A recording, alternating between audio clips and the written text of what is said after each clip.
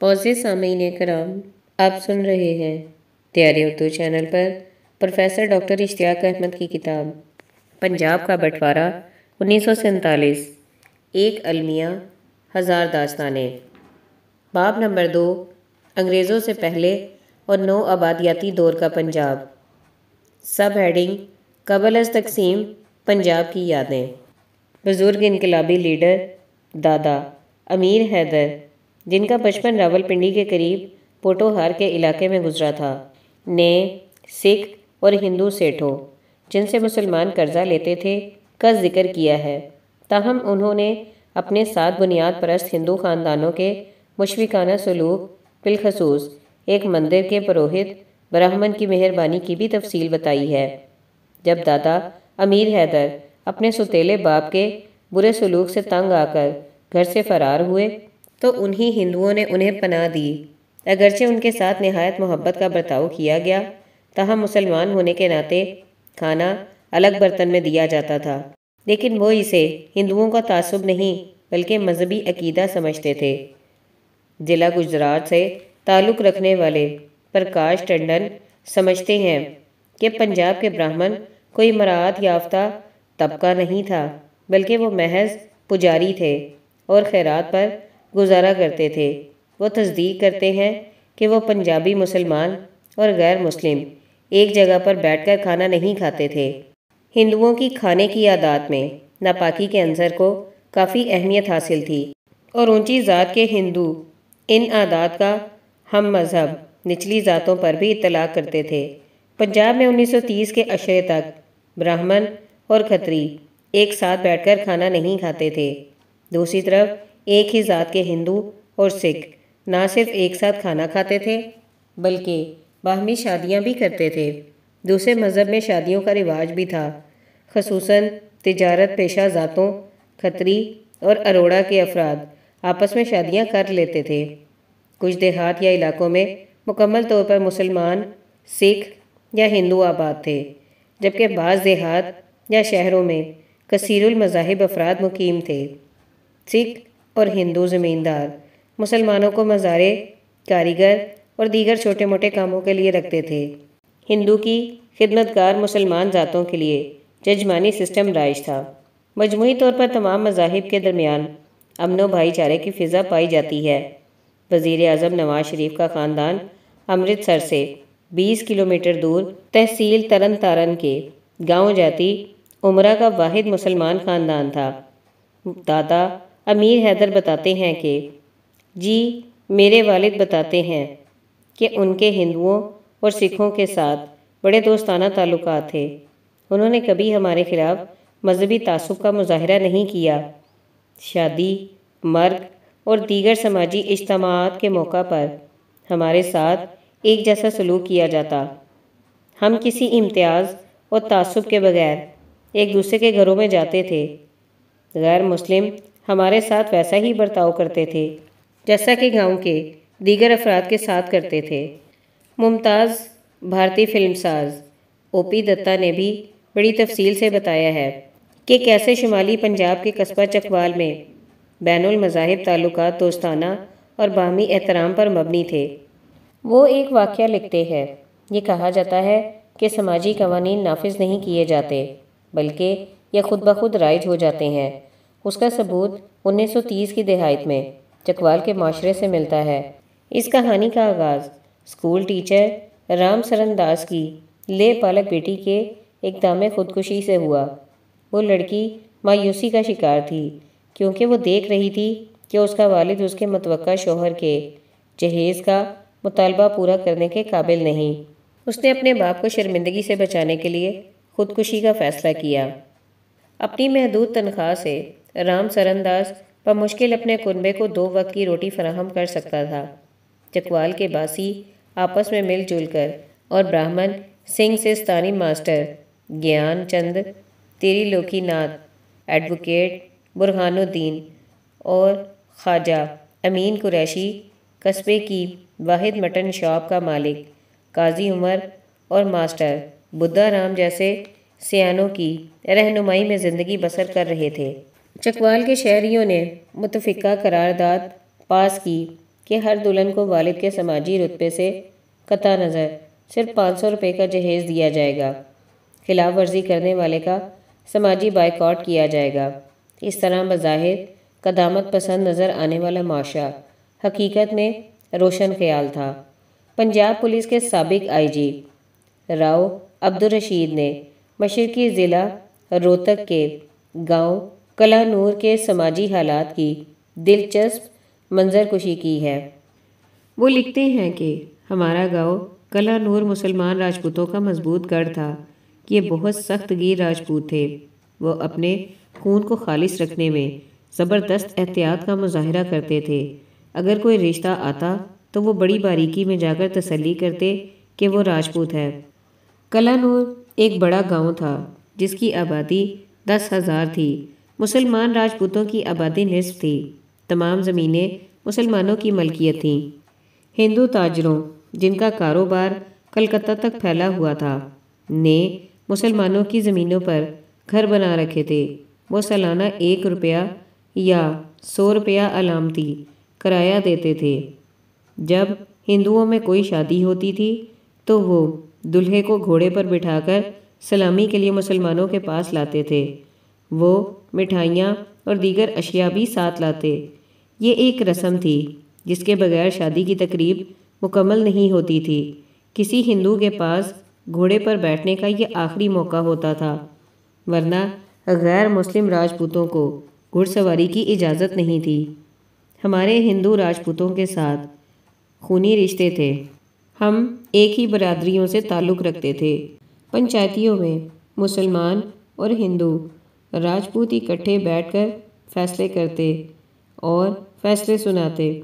तहरीक पाकिस्तान शुरू होने से पहले हिंदुओं और मुसलमानों में कोई तफरीक नहीं थी। इम्तियाज़ था तो राजपूतों और गैर राजपूतों का था। वहाँ राजपूत, हिंदू और मुसलमान दोनों खुद को अफजल समझते थे, क्योंकि उनके पास ज़मीनें थीं। ताहम जैसे ही तहरीक पाकिस्तान में तेज़ी आई तो दोनों में कशीदगी पैदा हो गई। एक गाँव में हिंदू राजपूत नौजवानों ने मस्जिद को आग लगा दी। उस पर उनके बुज़ुर्गों को ज़बरदस्त अफसोस हुआ, चुनाचे एक पंचायत तलब की गई, जिसमें हिंदू मुसलमान बड़ों ने शिरकत की। हिंदू इमायदीन ने वाक़े पर माफ़ी मांगते हुए मस्जिद की हरमत की पेशकश की। चुनाचे भाईचारे की फ़िज़ा एक बार फिर कायम हो गई। एक हिंदू राजपूत ने बड़े जज्बाती अंदाज में कहा कि हम एक ही माँ की औलाद हैं। एक इनकलाब की वजह से हमारे रास्ते जुदा हो गए, यानी कुछ मुसलमान हो गए और बाकी हिंदू रहे। अब एक और इनकलाब बर्पा होने वाला है। क्यों ना हम दोबारा एक हो जाएँ? तुम लोग अपने खूनी रिश्तेदारों को छोड़कर दूसरे मुल्क क्यों जाना चाहते हो? ये अपील नहायत खलूस के साथ की गई थी। हमारे कुछ बुज़ुर्ग, जो रासिकुल अकीदा मुसलमान लेकिन पुरानी रिवायात और तहज़ीब के भी इतने कायल थे, ने उनसे कहा कि भाइयों, हम तुम्हारी दावत पर गौर करेंगे और बाद में जवाब देंगे। इस पर मेरा मरहूम बड़ा भाई खड़ा हुआ और बुज़ुर्गों से मुखातिब होकर बोला, क्या आप अपना मज़हब तब्दील करने के ख्वाह हैं? उन्होंने कहा, नहीं। तब वो बोला तो फिर इस मसले पर गौर करने वाली कौन सी बात है? इसके बाद भाई ने पूरी पंचायत से मुखातिब होकर कहा, चूँकि दोनों फरीकों के लिए अपना अपना मज़हब नहायत अज़ीज़ है, इसलिए हम खुद मज़हब तब्दील करेंगे, ना आपसे मज़हब तब्दील करने की तवक्का करेंगे। सब हेडिंग चौधरी मोहम्मद बशीर।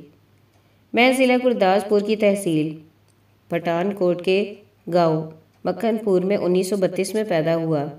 हमारे गाँव की आबादी निस मुसलमान और निस हिंदुओं पर मुश्तमिल थी। हमारा घराना अराई काश्तकारों में मुमताज़ था। गाँव में मुसलमान गुज्जर भी मुकीम थे। हिंदू ज़्यादातर ब्राह्मण और खत्री थे। हम हर मुमकिन तरीके से एक दूसरे की मदद करते थे। हमारे दरमियान कभी कोई चश्मिक पैदा नहीं हुई। इसके बरक्स हकीकी मोहब्बत और हमदर्दी पाई जाती थी। मुझे बिलखसूस अपना हमसाया, पंडित बू अदित्य याद है। वो पैसे कर्जे पर देता था, लेकिन दिल का बहुत अच्छा इंसान था। एक बार एलर्जी के बायस मेरी आँखें मतरूम हो गई। मैं रोने लगा तो उसने अपने घर की छत से आवाज़ देकर कहा, बेटा, मत रो, मैं तुम्हारी मदद करूँगा। फिर वो कोई दवाई लेकर आया और मेरी आँखों में डाल दी। मैं बिल्कुल ठीक हो गया। पाकिस्तान मुझे बहुत अच्छा लगा, लेकिन मेरा दिल अब भी भारत में मेरे गाँव में है। सब हेडिंग राना मोहम्मद राशिद। मैं राजपूत बरदरी से ताल्लुक़ रखता हूँ और 21 दिसंबर 1928 को मौज़ा मगविया राजपूत ज़िला होशियारपुर में अपने ननियाल के घर में पैदा हुआ। हमारा पूरा गाँव मुसलमानों का था और अराई बरदरी की अक्सरियत था। अलबत् ज़्यादातर ज़मीनें हमारी मलकियत थीं और हम, यानी राजपूत, वहाँ के चौधरी थे। मैंने कपूरथला की तहसील बंगा में तालीम हासिल की। वहाँ बेशतर इस और तलबा, हिंदू थे। हमारे उस्ताद नहायत नेक लोग थे। जब हम मैट्रिक के इम्तहान की तैयारी कर रहे थे तो हमारे उस्ताद पंडित श्याम सौरभ ने पेशकश की कि अगर तुम पाँच छः तलबा मिल जाओ तो मैं तुम्हें घर पर भी इजाफी पढ़ा सकता हूँ। चुनाचे हम पाँच लड़के जो सब मुसलमान थे, जमा हो गए। मास्टर जी हर सुबह हमारे पास आते और दोपहर तक पढ़ाते रहते। उन्होंने हमसे कोई फ़ीस नहीं ली। उनके गाँव और हमारे घर के दरमियान एक कब्रस्तान था, जहाँ हम इकट्ठे होते थे।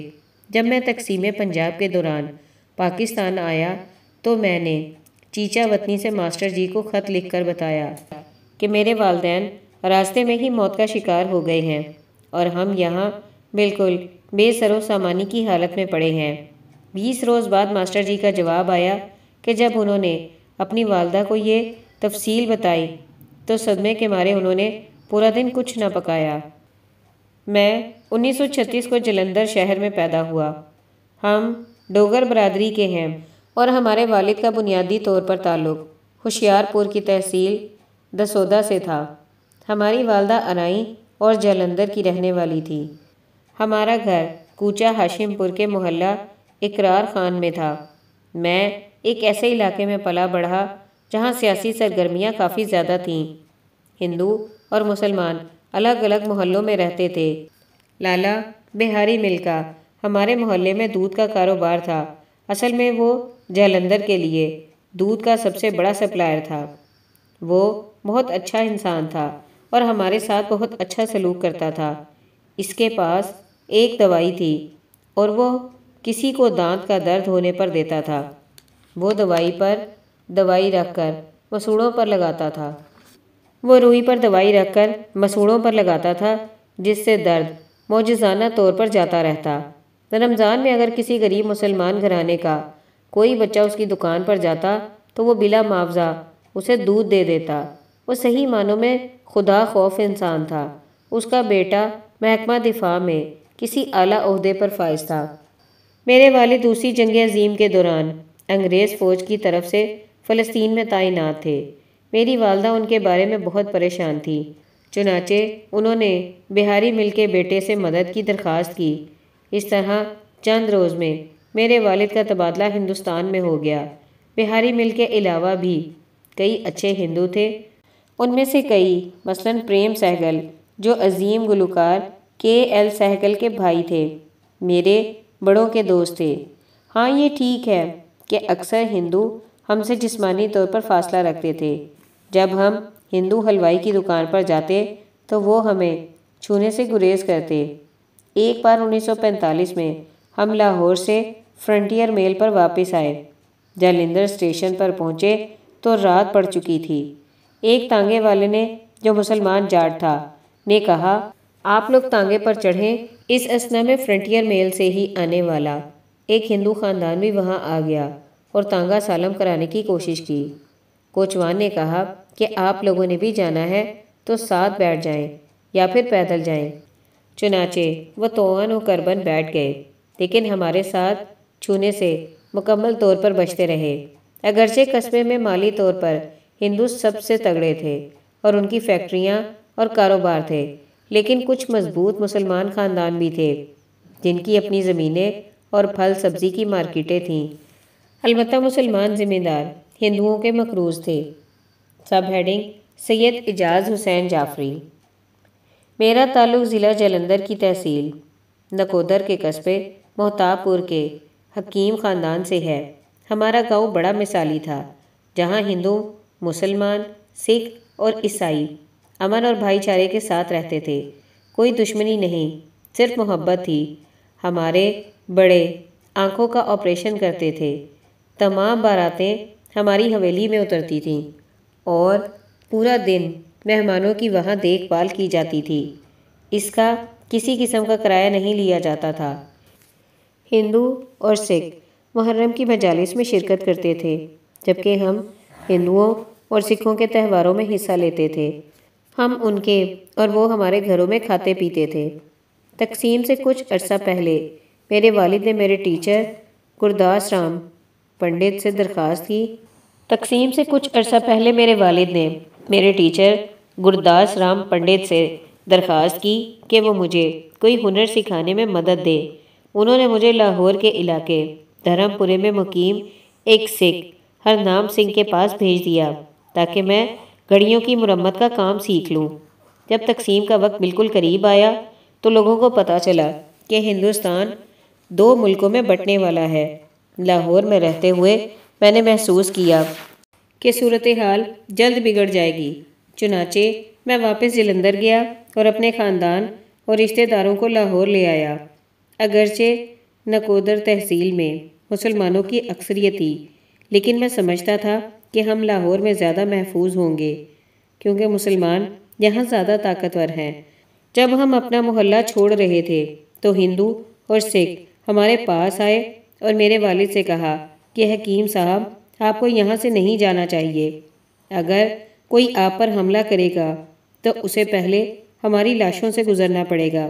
मेरे वालिद ने उनका शुक्रिया अदा किया और कहा कि, हालात ठीक होने पर हम वापस आ जाएँगे। अफसोस ऐसा कभी ना हो सका। जब हम लाहौर पहुँचे तो मैं घड़ी साज हरनाम सिंह से मिलने गया, लेकिन उसे और उसके अहल खाना को चंद रोज़ कबल ही हलाक किया जा चुका था। वो बहुत अच्छा इंसान था। वो हर वक्त ग्रंथ साहब की तलावत करता रहता था और मुझे अपने बेटे की तरह समझता था। वो बहुत अच्छे दिन थे और लोग भी बहुत अच्छे थे। मैं अब भी अपना आबाई इलाका देखने के लिए तरसता हूँ, लेकिन अब मेरी बिनाई कम हो गई है और मैं कभी उसे दोबारा नहीं देख सकूँगा। ये यादें अब मेरे साथ ही कब्र में जाएँगी। सब हेडिंग मोहम्मद फ़िरोज़ डार। बुनियादी तौर पर हम वज़ीराबाद के रहने वाले हैं, जहाँ हमारे दादा 1870 में कश्मीर से मुंतकिल हुए थे। लेकिन मेरे वालिद रेलवे में मुलाजिम थे और उनकी तैनाती रावलपिंडी में थी और मैं यकम अप्रैल 1936 को रेलवे कॉलोनी में पैदा हुआ था। मेरे वालिद ट्रेन ड्राइवर थे। मेरे तीन बड़े भाई और दो बड़ी बहनें थीं। रेलवे कॉलोनी, रेलवे स्टेशन के करीब थी। हम सब हिंदू, सिख, मुसलमान, ईसाई हती के अंग्रेज़, एक ख़ानदान की तरह रहते थे। मजहबी त्योहारों के मौका पर सब एक दूसरे को मिठाइयाँ भेजते थे।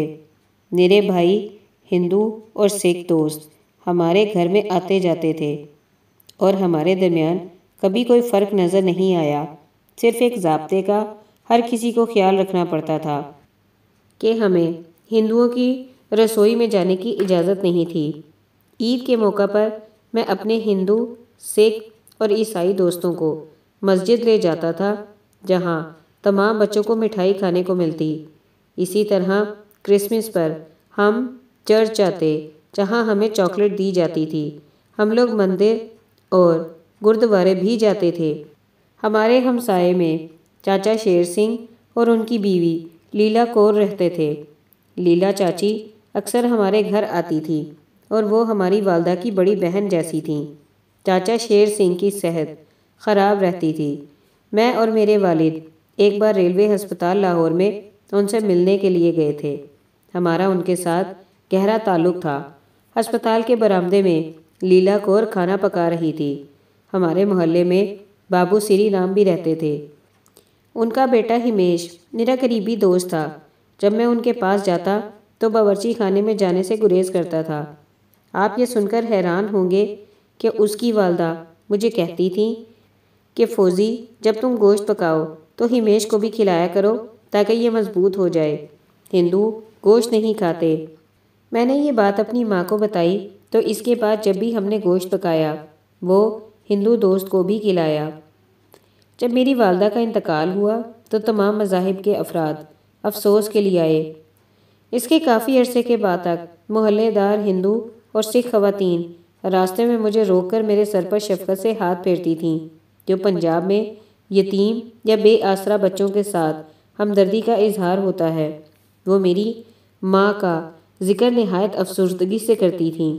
ये किसी ने कभी सोचा तक नहीं था कि एक दिन रावलपिंडी की गलियों में खून बहेगा और सिख और हिंदू हमें हमेशा के लिए छोड़ जाएँगे। 1945 के बाद से हालात अजीबो गरीब होने लगे थे। हमने सुना कि हिंदुस्तान आज़ाद होने लगा है, लेकिन दूसरी जंग अजीम के बाद ये कहानियाँ गर्दिश करने लगी कि एक दिन मुसलमान मुल्क पाकिस्तान के नाम से वजूद में आने वाला है और उसकी मौजाना अलामतें सामने आ रही हैं।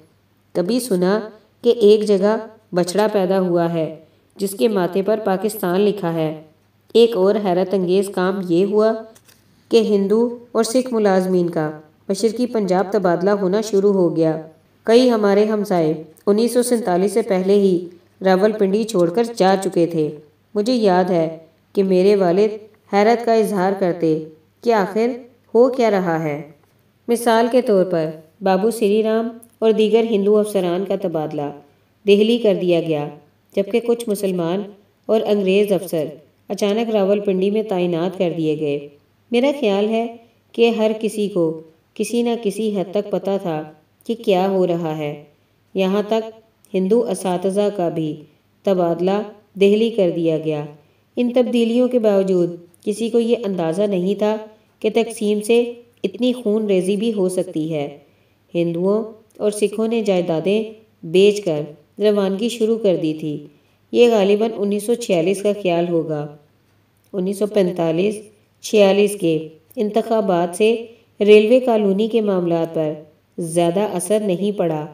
लेकिन मुझे याद है कि मेरे वालिद वोट डालने वज़ीराबाद ज़रूर गए, क्योंकि वहाँ हमारी जायदाद थी।